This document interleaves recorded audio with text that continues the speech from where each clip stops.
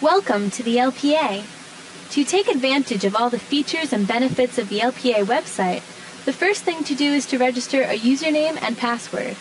This will enable you to place orders, retrieve documents, and access members-only features of the website. Please watch as I demonstrate how easy it is to register a username and password. First, click on the green Login button in the top right of the main menu. This takes us to the Login page where we can register a new username and password. Click on the green Register Username and Password button.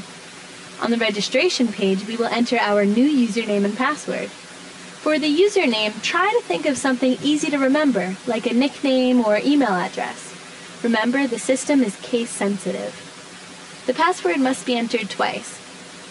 Then click Create Account. That brings us to the Account Maintenance page. The bold fields must be filled out to proceed.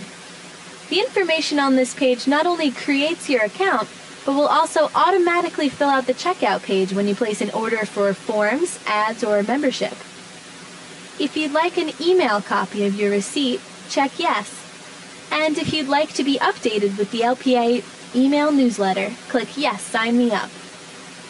The billing address below does not need to be filled out if it's the same as your mailing address.